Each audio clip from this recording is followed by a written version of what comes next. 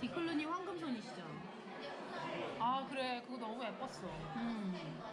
아니 어쩌다 섬여자님이 뭐 예쁘단 얘기를 막 남발하는 맞아, 사람이 맞아. 아닌데 언니 그거 봤어? 막 이러면서